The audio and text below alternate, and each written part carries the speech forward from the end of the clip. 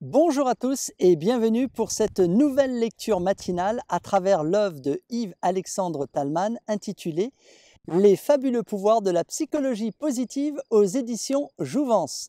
Alors aujourd'hui, eh on va aborder un nouveau chapitre et surtout la troisième partie de cet ouvrage.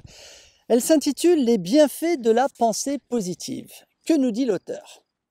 La loi d'attraction et la pensée positive promettent d'obtenir ce que nous souhaitons pour peu que nous utilisions correctement les ressources de notre psychisme. La psychologie positive, pour sa part, atteste, sur la base de recherches scientifiques, qu'obtenir ce que nous désirons ne nous rend pas plus heureux. Elle démontre que nous pouvons effectivement travailler à augmenter notre bien-être, mais par des pratiques régulières et peu spectaculaires, telles que la générosité, la gratitude, l'optimisme et l'appréciation des petits plaisirs du quotidien. Là où la pensée positive nous promet le succès, c'est-à-dire l'obtention de ce qui nous manque, eh bien la psychologie positive nous invite à apprécier ce que nous avons et ce dont nous jouissons déjà, ce qui constitue l'essence même du bonheur. Les techniques de visualisation et les formulations positives sont-elles pour autant à rejeter?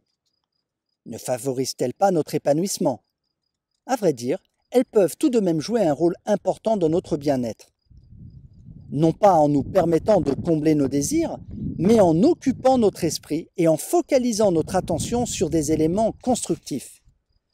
Vu sous l'angle d'activité psychique, parmi d'autres, les visualisations et les formules positives telles que la méthode Coué apportent effectivement un surcroît de bonheur.